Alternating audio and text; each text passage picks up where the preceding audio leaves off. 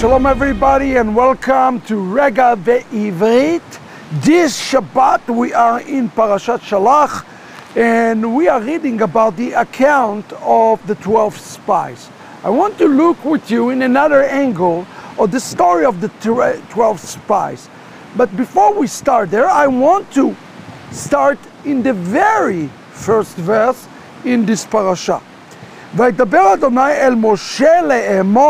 שלח לך אנשים ויתורו את ארץ כנען אשר אני נותן לבני ישראל.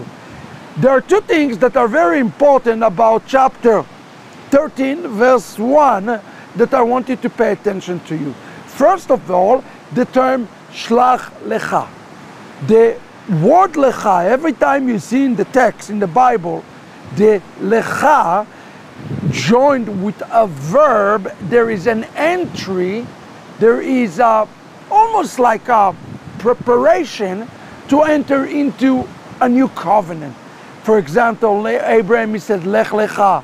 To, to Noach he said, Aseh Lecha, eh, Bene Lecha. Every time you see the Lecha in conjunction with the verb, it means God is preparing Israel or the individual into something new, like a new entry, a new world, a new covenant. Now, he says here in the text, Shlach lecha anashim. You see, God sent the spies not because he could not give the land to the, to the children of Israel.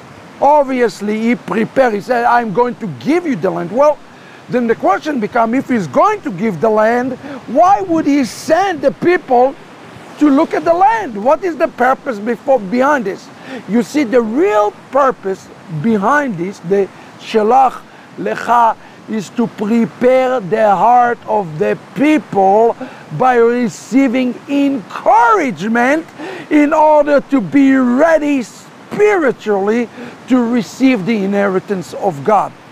Even in receiving the inheritance of God or the fullness, one have to be ready to receive a fullness. Think about receiving a gift. But if one is not ready to receive such a giant gift, he might be overwhelmed and not be able to receive the gift. So he's sending Shelach Lecha Anashim to you. I am sending the people for your sake For your sake. Now, I wanted to notice some something about the sending of the people. Because the question we all have to ask ourselves, what is the great sin that was commo- co- committed by the people? So verse 18, וראיתם את הארץ. This word ראיתם, לראות, ראה is more than to see. It's to experience the essence of the land. Well, why are you to experience the essence of the land? Mahi, what is this land? Ma'ama Yoshevalea. Who are the people are there? Achazak, Uarapeh, Ameatu, Imrav, are they great? Or are they, who, who are those people? Is the land fat or the land skinny? You see, God already know the answer. He is sending them to the land to strengthen the hearts of the people, the hearts of the people. And here it says, take from the pre Aaretz. Now, I wanted to notice the key transition of the text where I really want to spend a moment with you. Verse 22. ויעלה בנגב ויבוא עד חברון. so there is an aliyah that is going on.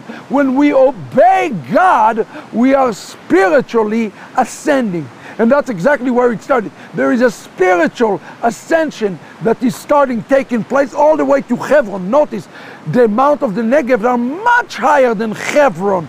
But there is a spiritual, spiritual ascension that is taking place. But then he said, Hebron vesham achi man Shishi v'talmi yelidei anak. The sons of the anak. Who is the anak? The word anak is the sons of the giants. The question is, were they really a giant in there, there? Because later on they come and say, and they tell the story to verse 27. He said, oh, the land is wonderful, the land of Chalav uh, devash and it's wonderful. But there is a problem, he said there. He says in verse 28, Vegam Inusham, and it says there is no way that we can defeat them. We can know That was the sin. We have to understand the sin of the land, what was happening in the land. God nowhere tell them, go and create a military plan on how to conquer the land. That was not what God has have prepared for them, for their hearts. Not at all. The only preparation that God wanted to do is go and bring the fruit, to bring the good report from the land, and to encourage the people. The sin here is the sin of the discouragement of Kelal Israel. And we're learning an important word for that. Listen to what Joshua did. It says in the Hebrew, Vayahas כלב את העם אל משה ויאמר. מה זה ויעש? He's silent, the people. He say, enough. You are discouraging the people. Brothers and sisters, there is our principle for us today. When we speak a word of discouragement, against a situation, against the against something that God is telling the people to, to do, more than likely you're not just discouraging yourself, you are discouraging those who are around you.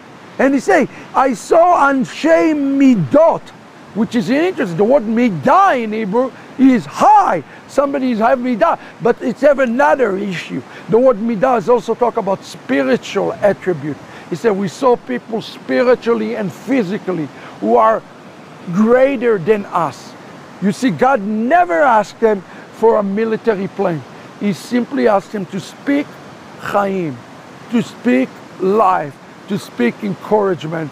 And that would have been enough for the encouragement to bring the Geulah forward. Friends, let us not delay the Geulah upon those who are around us. Speak life and positivity and chaim and believe that God is in it. And if God said something, simply obey. And if you don't believe what God says, it's better to close your mouth altogether and do exactly what Joshua did. Shh, vayahas. Let us be people who speak life and not death, because life and death are in the tongue. This is this week, Rega בעברית.